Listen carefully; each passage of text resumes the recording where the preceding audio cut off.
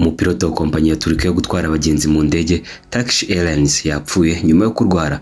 Atwaye indege mu rugendo ruva mu mujyi wa Seattle muri Amerika rwerekeza mu mujyi wa Istanbul muri Turukiya Kapiteni Ilchahin Pehlivan wari ufite imyaka mirongo itanu n'icyenda mu buryo butunguranye yacitse intege ata n'ubwenge ubwo indege yari iri mu kirere.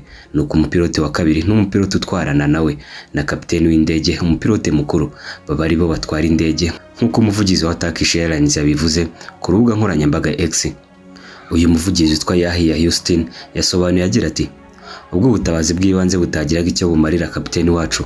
Abo mu cyumba cy'imbere gitwarirwamo indege bafashe icyemezo cyo kuyigusha ku kibuga mu buryo bwihutirwa.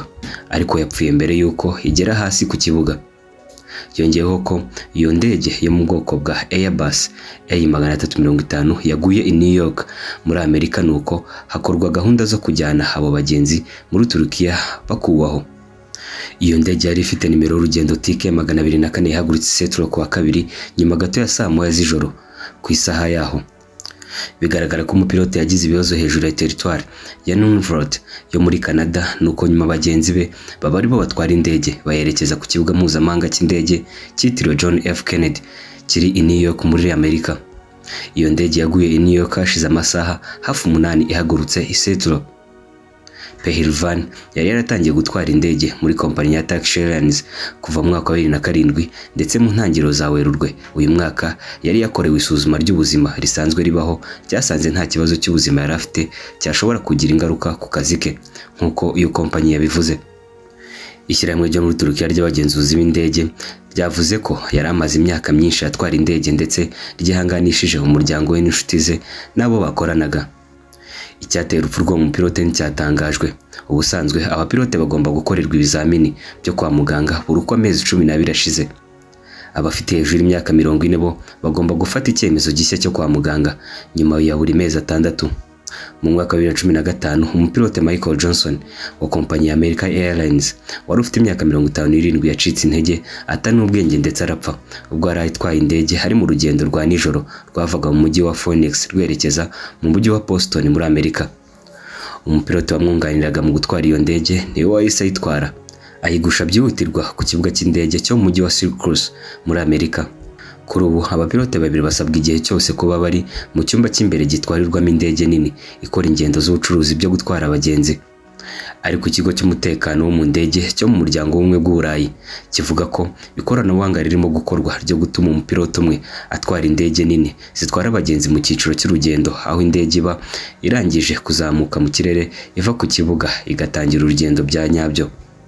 Icyo kigo kivuga ko ibyo bizatuma abandi bo mu cyumba gitwarirwamo indege bashobora kuruhuka. Nubwo icyo kigo cyashimangiye ko hakenewe ingamba zo gutuma habaho umutekano no gutuma hagira ibikorwa igihe bibayeho ko utwaye indege atakishoboye. Ishyirahamwe ry'uburayi ry'ababa bari mu cyumba gitwarirwamo indege European Cockpits Association n'indi miryango ihuza abapilote. Bishyize hamwe mu kwamagana iyo gahunda bavuga ko igihe icyo ari cyo cyose umubare w'ababa bari mu cyumba cy'imbere wagabanwa byaba ari ugukina n'umutekano w'abari mu ndege.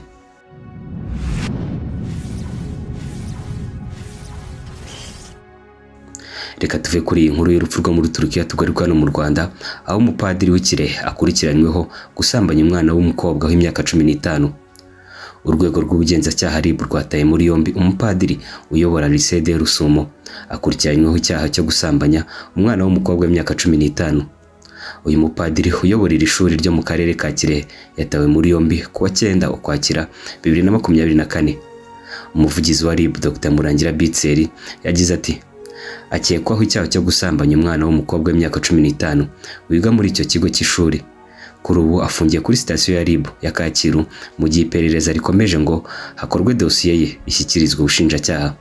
Mu gihe urukiko rwamuhamya iki cyaha yahanishije igifungo kitari munsi y'imyaka makumyabiri ariko kitarenze imyaka makumyabiri n'itanu nk'uko biteganywa n'ingingo ya cumi na kane y'itegeko riteganya ibyaha n'ibihano muri rusange.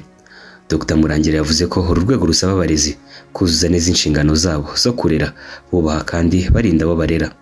Yagize ati biragayitse cyane kuba umuntu w'umurezi yakekwaho icyaha nk'iki cyo gusambanya umwana. Ibyaha nk'ibi ntabwo bizihanganirwa. Uzabikora wese amenye ko amategeko azamuhana kandi bazirikane ko iki ari icyaha kidasaza.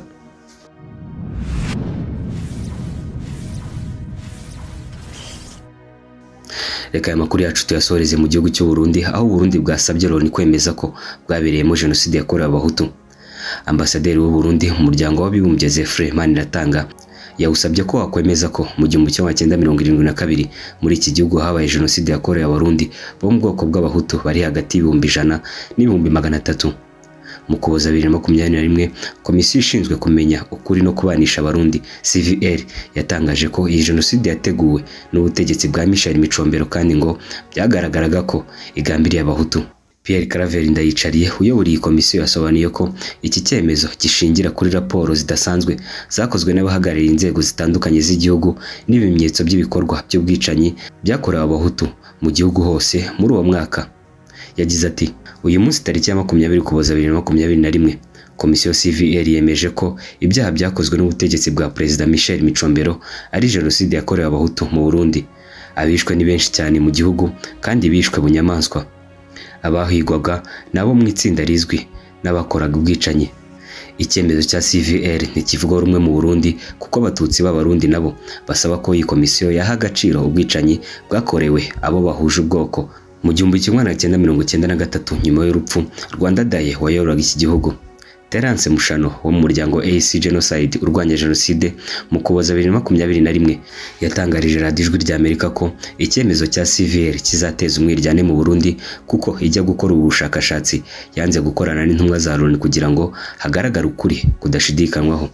Mushano yagize ati ahubwo ni uguteranya ubwo muri cvr bangaga gushyiramo intumwa za loni ni bwo twabonye ko ibyo bashaka kugeraho ari nta gitangaza kirimo ko ibyo bakoze babikoreye ku cyerekezo bahawe.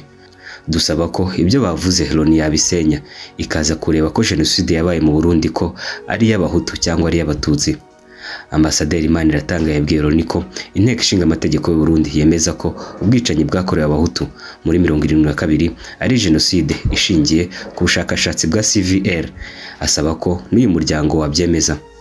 Uyu mudiplomate yagize ati ntabwo bikwiye kandi ntibyumvikana ko nyuma y'imyaka mirongo itanu n'ibiri umuryango w'abibumbye utaraha inyito ikwiye iki cyaha cyo ku rwego ndengakamere cyakorewe mu burundi muri mirongo irindwi na kabiri.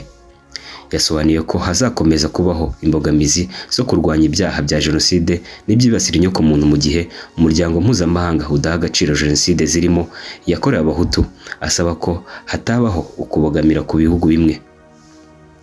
Muri gicurasi bibiri na makumyabiri na kabiri perezida ndayishimiye yari yijeje abarundi ko atakwemeza ko habayeho jenoside yakorewe abahutu muri mirongo irindwi na kabiri bitewe n'uko yifuza ubutabera kuri bose. Yasabye ko cvr yakora iperereza ku bwicanyi bwakozwe mu bihe bitandukanye ikabona gufata icyemezo.